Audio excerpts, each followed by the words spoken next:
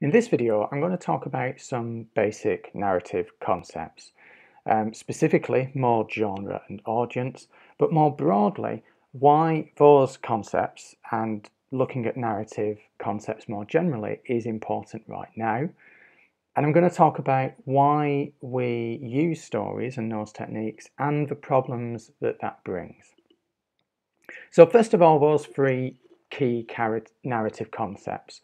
Um, Mode is a concept, a very simple concept, the idea of the way that a story is told, whether that's written or visual or oral. Um, we need to think about genre in particular, and later in the module we'll spend some more time looking at genre. But the genre of a story is really important for us as professional storytellers because it sets expectations with the audience. It also um, determines our production processes. So genre is really central to think about as a media producer. And finally, and equally importantly, the idea of audience. What makes us professional storytellers, professional media workers, is this idea of having an audience, of working for an audience. Um, we're not just doing it for ourselves, for our own pleasure. And when we look at narrative theory, we find that audience isn't just something that exists out there. It's not just a, a group of people that watches or listens to or reads our stories. Um, it's something that we construct in the way that we create our stories. We make all sorts of assumptions about our audience, their knowledge, first of all, and, and the language that they might be comfortable with, um, but also culture, geography, and that's particularly important right now. And in fact, all these concepts are really important right now because in the last couple of decades, all of these three concepts have been the subject of immense change. So, in terms of the mode of storytelling, in the last couple of decades, this has become increasingly multimodal. As media producers, we are expected to work not just in one medium, we're not just videographers working in video, we're not just radio producers working in audio or writers working with text. We're expected to be able to operate across multiple modes, and that's a large focus of this module. Likewise, genre has proliferated enormously over the last decade. We've got new genres, new formats. So a new genre might be something like social video or the listicle. A new format would be something like vertical video. And that's made it more difficult to uh, create predictable production and have people who have the right skills. And finally, audience has changed as well. We have a much um, different, uh, a much changed idea of our audience now because of analytics data. So we now know much more about what our audience reads or watches. We have information down to the level of uh, how long they watch for, or when they stop watching, or when they stop reading, whether they've shared it or commented on it, how engaged they are. And related to that, the audience themselves are increasingly active in our media production. They may well have a central role in the stories that we're telling. So, because of this immense change, that's uh, essentially the main reason for this module in narrative. It's about giving the skills to adapt to ongoing change and understand how to produce stories across those platforms and new modes and new genres and with new relationships with audiences. To illustrate that in terms of genre, this is a piece of research from way back in 1998 when the, the internet was um, first becoming popularized. This was a, a, piece of research by Shepherd and Watters, and they were already at that point, over 20 years ago, identifying how genre was being affected by this new medium. And they identified two types of genres. They found um, what they called extant subgenres. Uh, by this, what they meant is that existing genres were being recreated online. So um, they were looking at the area of news, which is my particular area of interest, and they were finding that websites were recreating the newspaper and the newspaper homepage. But in addition, they also found spontaneous genres, new genres. Here they identify the hot list, which is a, a list of links. But the broader point is that this new medium was creating new genres and also replicating old genres, what's called remediation. Now, since then, these genres have undergone further change. So the hot list doesn't really exist anymore. It's it's been replaced by other forms of curation, which we'll come on to elsewhere in the module. And a newspaper homepage, the web page for a newspaper, is now very different to a, a physical newspaper. Equally, we have some more recent research from Rulyova and Westley talking about the role of users in the creation of genres.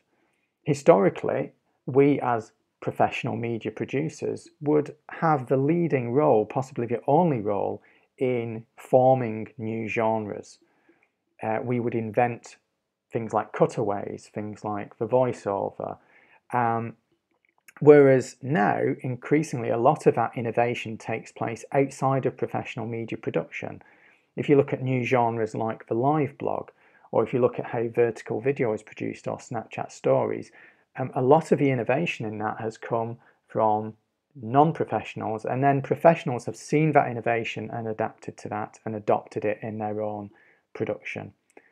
So we've moved from this um, one-to-many mass media approach to a many-to-many approach. If you want to get an idea of this, this is a, a video from um, BBC News Labs about some of the new story formats that they've been experimented with. This is available in the slides for this week, so it's well worth taking some time to look at that, um, particularly if you're operating in uh, one of the journalism courses. But there's, there's a big problem with these stories, there's a big problem with narrative as a whole, and that's um, that it makes our production routinized and standardized, and that can create blind spots. It can lead us to towards lazy storytelling, stereotypes. So this is one of the core reasons why, as professional media producers, we should be paying attention to narrative concepts and being critical in a way that we look at our own work. Now, the reason for these um, standardized routines is because again the professionalism it, it's important that, that we can produce stories relatively quickly to a deadline um, and to be able to cooperate and collaborate with others who all understand the rules of this but it also creates its blind spots for example um, in, in one great article by uh, a guy called Grosser, he, he writes about the, what he calls the law of narrative gravity. And this is the idea that when there is a, a bigger narrative going on, uh, that tends to shape and attract stories that other people tell. So it, it almost shapes the perception of facts. And a particular, um, if you like, story that he was interested in was the tech bubble narrative. The idea that we're, we're all uh, in the middle of a tech bubble where um, technology companies' value is overinflated, and that that shapes the other stories that are told about this sphere. But you could you can see this elsewhere in things like if you take a, an area like global warming, for example, the bigger story is that we are going through a, a period of global warming and there's danger to the planet, um, and that will shape other stories that people tell. Likewise, counter narratives to that, so there are stories about, well, there is no global warming and it's some sort of conspiracy. That's also a big story that shapes stories that are told. Now, the point here is not whether one is true or one is false, but just that these are two big stories that shape the other stories that are told, and other stories fall into that. You might hear this called agenda setting. Um, we often follow what's on the agenda, what's um, topical at the moment. So topicality is part of that. Um, but we should be careful that we're not just kind of blindly fall, falling into these uh, topical stories and that we, we're telling new stories. A really good example of this is the film Nightcrawler. Um, this is well worth watching if you haven't already seen it or re-watching it. Um, there's a scene about an hour and 50 minutes in which is uh, demonstrates this absolutely perfectly. Um, the central character in Nightcrawler is a videographer who chases ambulances and police cars to, to film footage that he then sells. Earlier in the film, there is a story about um, a what, what's described as a home invasion, a wealthy suburban house invaded by burglars, and it's reported as that sort of story. Then later in the film, and this is a spoiler alert, so skip ahead if you uh, don't want this to be spoiled, but it's not a massive spoiler, it's not central to the film. Um, later in the film, they find drugs in the house and they realise that it wasn't actually a home invasion, it was a drug robbery. The people in the house were drug dealers. And this, there's this great interaction between the presenter and the uh, editor where they're arguing over what the story is. And Nina, the presenter, says the information detracts from the story. The story is urban crime creeping into the suburbs, innocent victims.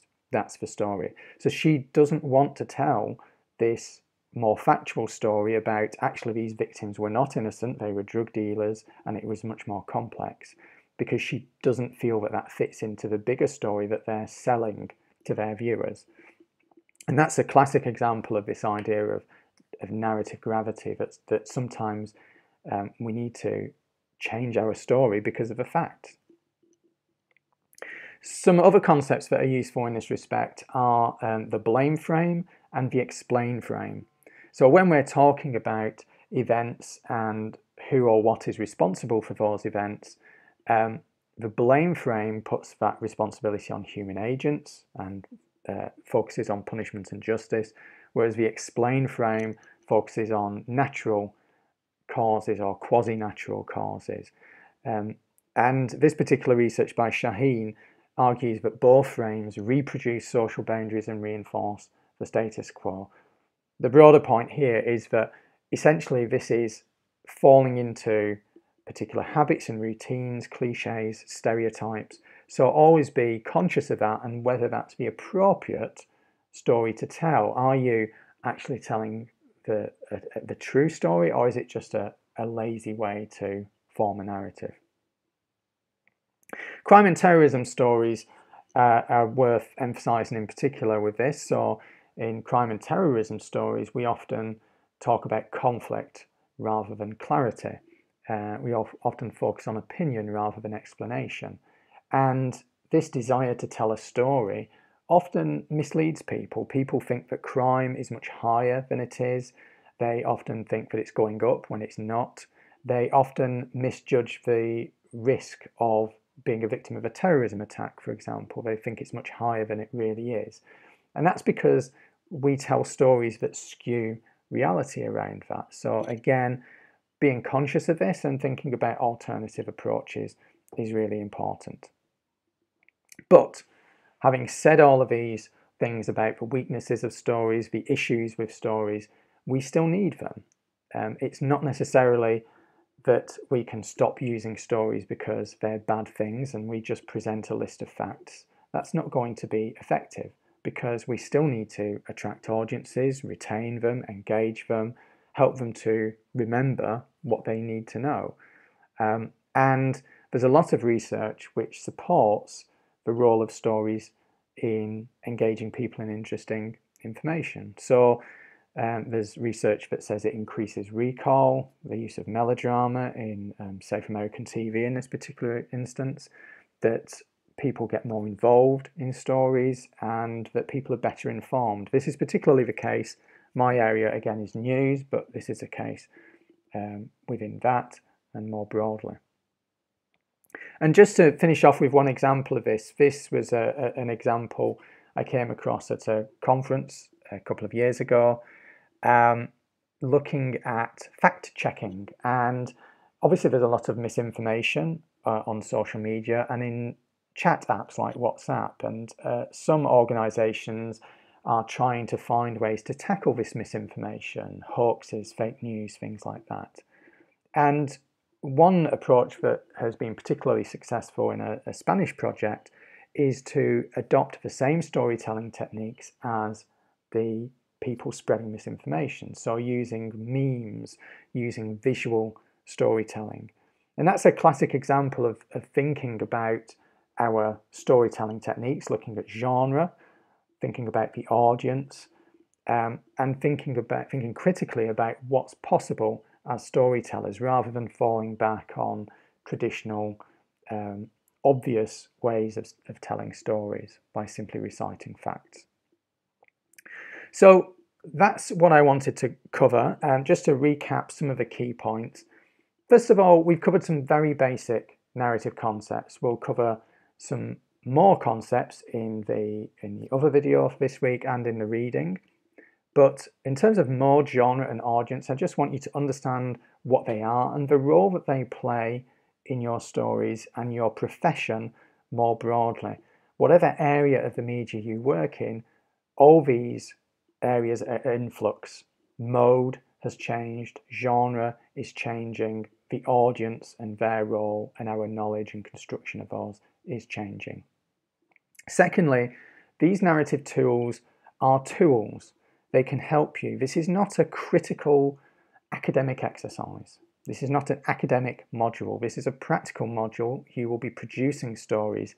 And what's key is that you use these narrative concepts and tools to help you as a media producer, help you think about how you approach to this adaptation. It's all about adapting to change, new platforms, new media, new modes.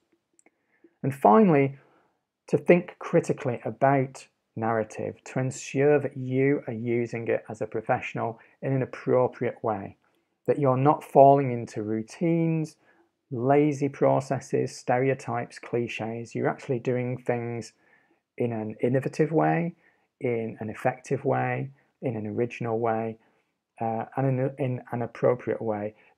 We are defining new ways of telling stories. So, as we define those new ways, we should be defining it in the best possible way that's going to be accurate, factual, true, effective, and so on.